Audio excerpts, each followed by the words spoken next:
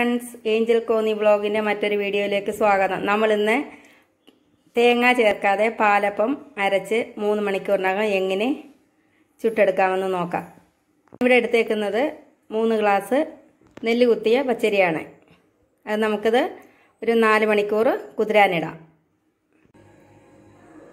നാല് മണിക്കൂർ കുതിരാനിട്ട അരി നല്ലതുപോലെ കുതിർന്ന് വന്നിട്ടുണ്ട്. നമുക്ക് ഇനി ഇതൊന്ന് അരച്ചെടുക്കാം.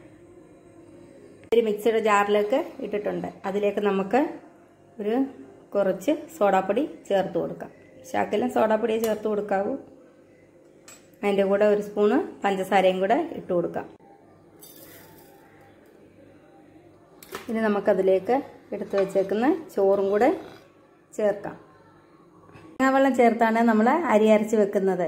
ഞാൻ തേങ്ങ പൊട്ടിക്കുന്ന വെള്ളം എടുത്ത് കുപ്പിയിൽ സൂക്ഷിച്ച് വെക്കാറുണ്ട്. അതെടുത്താണ് നമ്മൾ അരി അരയ്ക്കുന്നത്.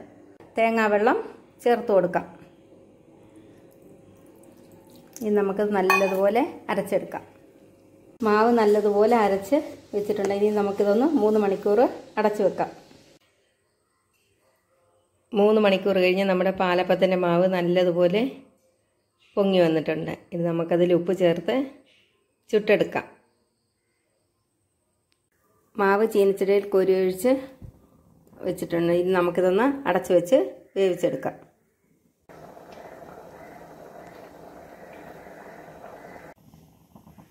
നമ്മുടെ പാലപ്പം റെഡി ആയിട്ടുണ്ട്. അരി അരച്ച് മൂന്ന് മണിക്കൂറിനകം നമ്മുടെ പാലപ്പം റെഡി ആയിട്ടുണ്ട്. നല്ല സോഫ്റ്റ് ആയിട്ടായിരിക്കുന്ന പാലപ്പമാണ്. എല്ലാവരും ട്രൈ ചെയ്യുക. ഈ വീഡിയോ ഇഷ്ടപ്പെട്ടാൽ ലൈക്ക് ചെയ്യുക ഷെയർ ചെയ്യുക സബ്സ്ക്രൈബ് ചെയ്യുക.